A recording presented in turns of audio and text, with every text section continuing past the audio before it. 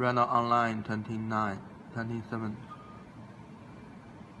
Uh, select uh, anyone on the map. Uh, this one is uh, in located in the northeast of China, in Heilongjiang province. You can see the surface of the terrain Uh, right now you can find there is a sports flash on the screen. Oh, right now it's a line. 这个是正在作业了是吧？啊、this this this uh drawing is right now is doing the field work.